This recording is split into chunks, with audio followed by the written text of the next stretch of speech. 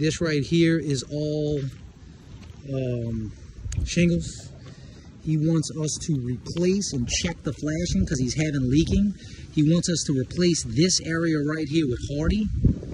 He wants us to check the flashing right here. And then if you come onto the other side, same thing. He wants to replace this with Hardie, and there's flashing that you can see that may be bad. He wants us to check. He got one of these bad boys. This looks really bad. Bunch of tar. They tried to. Same thing over here. Tar. He's got a valley right here that used to be metal right there. Um, I'm not sure what's underneath it, but you got another jack.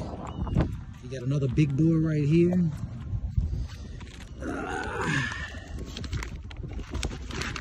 piece of metal looks like it's rusted. It runs across here.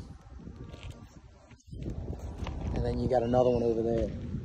Ooh, I just stepped on some soft, very soft wood right here.